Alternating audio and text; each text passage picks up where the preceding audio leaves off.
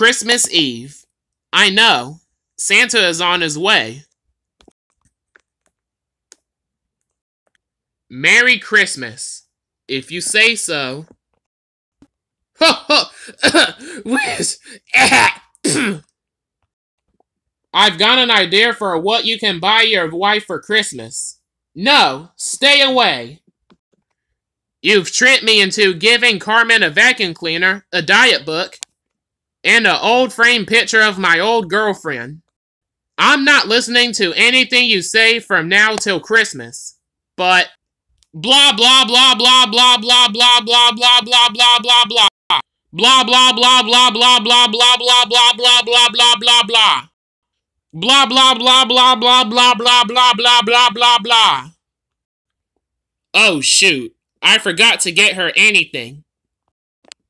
Santa, Santa, Santa.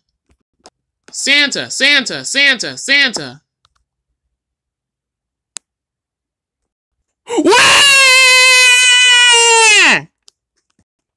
I still need to buy Christmas presents. Do you know if this diner sells gift certificates? No. Ross has death certificates. Can I have a big Christmas Eve party? No! Why not? Because this is Christmas Eve, Jeremy. My parents are so hung up on planning. Next year, ask a day ahead.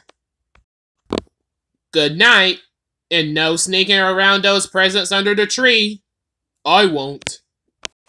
But I can't speak for her. It's the most wonderful time of the year. What is? The present moment. I actually think it's a good idea for me to stay up for Santa so you can sleep. Really? Yeah, I'll have a lot to tell him about before he leaves your presence. You know, you look tired. You go to bed and I'll stay up for Santa. I love Christmas Eve. It doesn't get any better. I can't wait to open my gift tomorrow and see what you got me. I mean it. It doesn't get any better. You're a plugger if you have lots of hay to donate for Christmas nativity scenes in your town.